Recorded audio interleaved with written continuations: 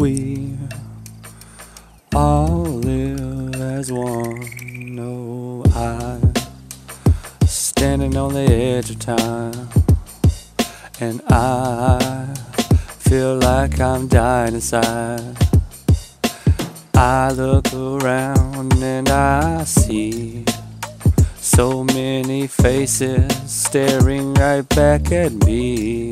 Everywhere I go, all I seem to see is a lot more people just like me, all dying inside because of this war machine that's affecting our lives.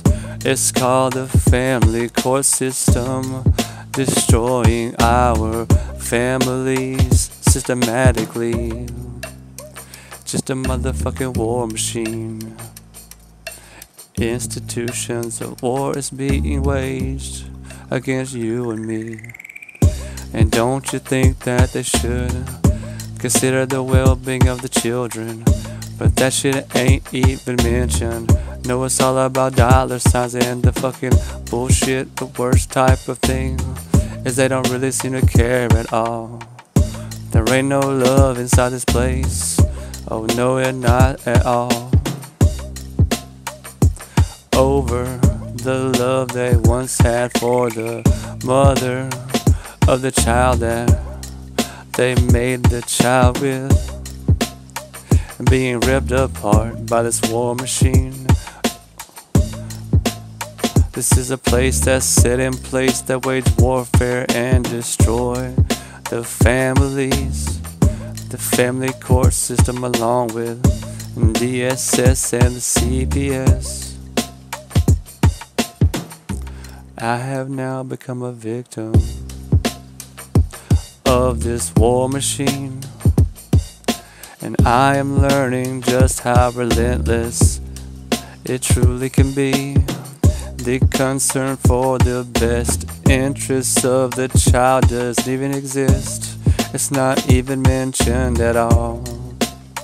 The child should have the right to be loved one and all by their own flesh and blood parents unless there's something seriously wrong. Then just let us live and get along.